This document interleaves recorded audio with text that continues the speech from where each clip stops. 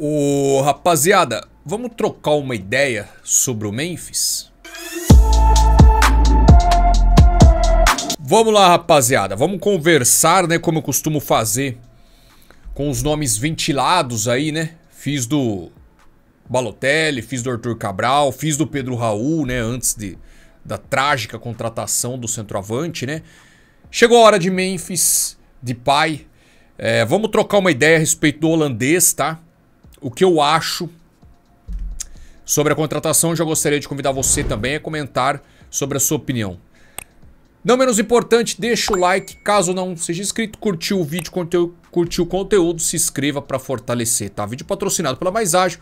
Você que está precisando adiantar o seu FGTS e não sabe como, chame os caras através do WhatsApp que tá na sua tela. Também o link na descrição. Troque ideia com eles. Tire as suas dúvidas, faça a cotação e até 24 horas os caras depositam dinheiro na sua conta, tá? Mais ágil, super confiável aí, parceiro do canal. Vamos lá então.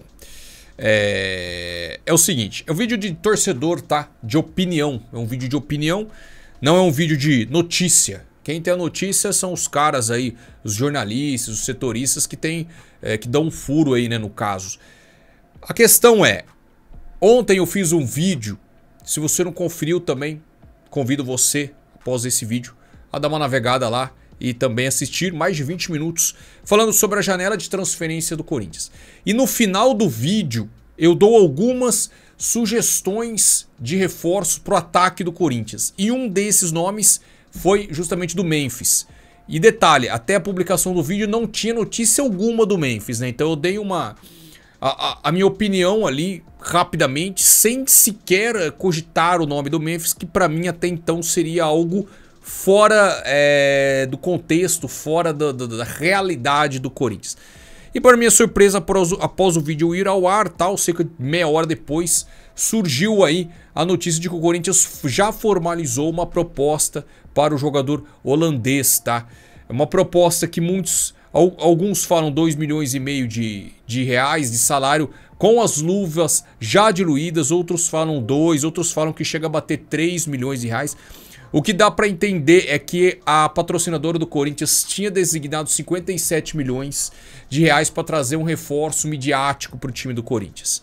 Esse o, o, o Depay, sim, eu não sei se é Depay ou Depay, mas na verdade ele nem gosta de ser chamado por esse sobrenome, que é o sobrenome do pai dele, né, que parece que abandonou ele quando era criança, enfim, ele gosta de ser chamado por Memphis, né. Eu conheço até um pouco do jogador por conta do Manchester, eu vou comentar é, é, sobre o atleta mais pra frente, tá? Então é o seguinte, a patrocinadora tinha destinado uma moeda para trazer um jogador midiático e o Memphis se encaixa nesse perfil. Então seria basicamente 80% do salário do Memphis seria pago pela patrocinadora. Um ponto que eu gostaria de trazer que é muito interessante é a questão do Memphis estar sem clube, sem contrato com nenhum clube, então ele conseguiria, o Corinthians conseguiria escrevê-lo aí até dia 9 de setembro, porque ele é um jogador que está free pass, né, passe livre. Então o Corinthians não pagaria para ter o atleta que está avaliado segundo o Transfer Market em 10 milhões de euros. 30 anos, 10 milhões de euros. Então, 3 milhões, 2 milhões e meio de, de reais é, o salário com as luvas diluídas para um jogador do quilate do Memphis, eu não acho absurdo.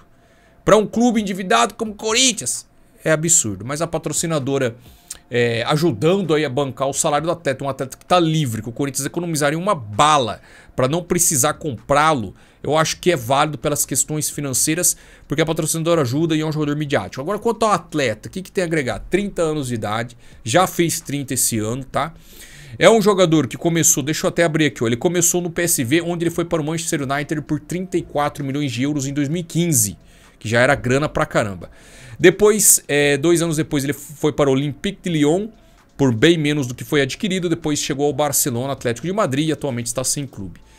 É, eu lembro quando ele foi comprado pelo Manchester United, rapaziada, eu fui um dos que mais hypei a vinda do, do, do, do Memphis, né?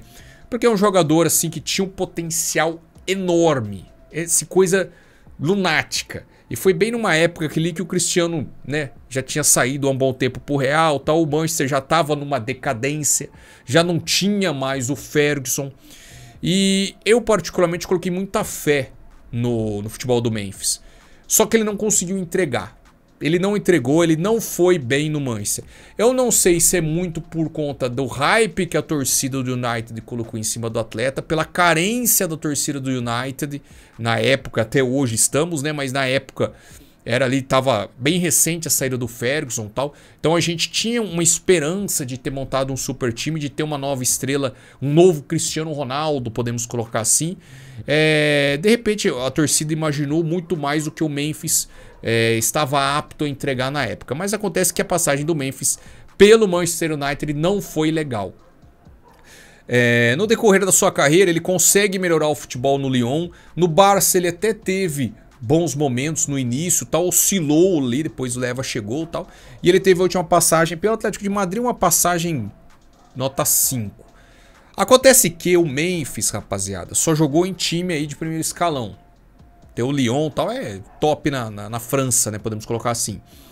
Acontece que o Memphis, pra, pra Europa ali, ele tinha uma proposta do Sevilha. Que até é um clube ali, pô, segundo escalão, assim, um clube bacana, assim. Mas isso mostra que os, os grandes clubes, pelo menos as notícias que, que, surgiram, que não, não estão muito interessados no futebol do, do Memphis. O Memphis para a Europa já pode ser um jogador de segundo escalão, de, de Sevilla, de Olympique de Marseille e tal.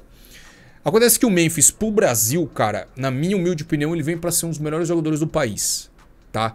Aquele Memphis que se apresentou no Manchester em 2015, há 10 anos praticamente atrás, era um jogador que jogava mais pelas pontas, gostava muito do drible, de velocidade, aquele jogador é, malabarista, né, que jogava pra torcida muito por conta é, disso que a torcida colocou ali uma expectativa de ser um novo Cristiano Ronaldo. Era um jogador é, aquele jogador bom, bonito de se ver o jogo dele, né? Você olhava para um jogador que, que alegrava a torcida, tipo o Robinho antigamente e tal.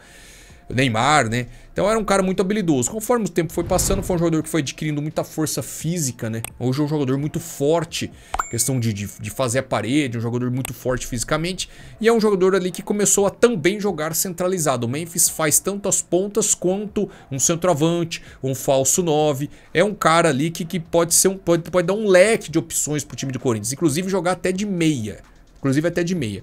Eu fui contra a vinda do Balotelli por conta do Balotelli ter um, um, um, um auge até melhor que do, do Memphis, até bem melhor que o do Memphis, mas o Balotelli há muito tempo não joga um time grande, há muito tempo não joga é, um nível legal. O Memphis, a Eurocopa que acabou agora de pouco, o Memphis era o camisa 10 da seleção holandesa.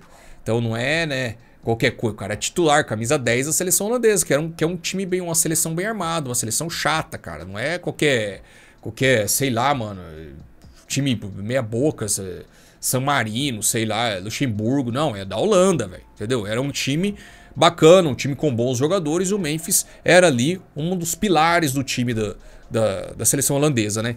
Acredito que, assim, o Memphis no Brasil ele pode agregar muito. Eu sou a favor da vinda do Memphis. Respeito quem é contra, eu já vi o corintianos, assim, a galera não, não, porque é um jogador de muitas lesões. Realmente é um jogador que tem muitas lesões na, na carreira.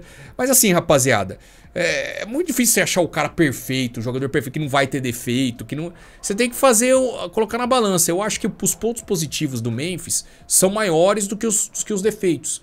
Eu acho que é um cara que a torcida vai abraçar pelo estilo dele, bad boy e tal. É um cara que joga em qualquer posição no ataque, inclusive como um meia. É, é, o que o Corinthians precisa de ter um leque de opções, um centroavante ou de repente cair como um segundo atacante e tal. É um cara que tá num nível legal, tem só 30 anos, repito, acabou de jogar a Eurocopa, Tava no Atlético de Madrid, ou seja, ele tá em time top da Europa, não é um cara como o Balotelli que tá muito tempo sem jogar, ou seja, ele tá apresentando um futebol bacana e pro Brasil um futebol de, de, de primeiro escalão, vai ficar na prateleira dos melhores jogadores do país, sem dúvida alguma.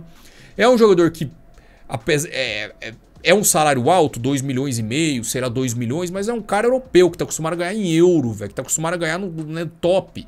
O cara, pelos valores, com o patrocinador ajudando, não acho que seja um absurdo o que o Memphis é, aparentemente aceitou receber no Corinthians, tá? Eu aprovo a vinda do Memphis. Eu acho um nome interessante por esses, por esses, esses, essas explicações, né, esses exemplos que eu dei. Acho que é um cara que agrega. Tem sim o problema às vezes extra-campo, o problema de lesões que realmente é um jogador que sente, que tem bastante lesões, principalmente lesão muscular. Mas como eu disse, perfeito, perfeito, perfeito, ninguém vai ser, velho. A não ser que seja um Carlitos Teves, né? novo, raçudo, uma máquina, um monstro que joga, que é, que é um robô. Aí é outra história, mas isso aí, infelizmente, a gente não, não tem mais condição de trazer, né?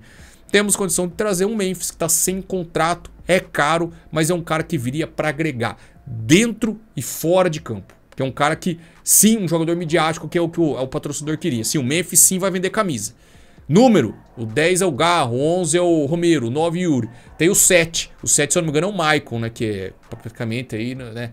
O 7 seria um número legal pro, pro Memphis, que se eu não me engano, o Memphis no United ele era o 7. Pô, 7 Memphis, vende. Rapaziada, vende. Eu aposto que a torcida do Corinthians, a massa corintiana, compra a ideia do Memphis, cara. O Memphis é um jogador que se paga. Não é um Ronaldo, não é um, um Tevez, mas é um cara que se paga. Porque o Tevez, quando veio, não era o Tevez que virou, né? O Memphis é um cara que se paga. Eu acho um bom nome, agrega dentro e agrega fora do campo. Se vai vir, não depende de mim, depende dele. A proposta tá na mesa, depende do cara aí. Não, quero, quero fazer parte da, do bando de loucos aí. A situação do Corinthians no rebaixamento pode dificultar um pouco, né? O cara vai olhar e fala, porra, mano, e se cair? Se cair, fudeu, Memphis. Se cair, fudeu pra todo mundo, inclusive meu canal aqui vai tomar no, no Foreves, né? Mas se vier, eu acredito que seja um tiro certeiro. Eu aprovo a vinda do Memphis. E você, corintiano? Torcedor rival vai falar que o Corinthians não tem dinheiro. E não tem. E não tem, não estão mentindo. Mas aí tem o lance do patrocinador, tá? Vocês aprovam a vinda de Memphis, de pai, Memphis, de pay? Memphis 7. Galera, deixa o comentário, tamo junto. É nóis.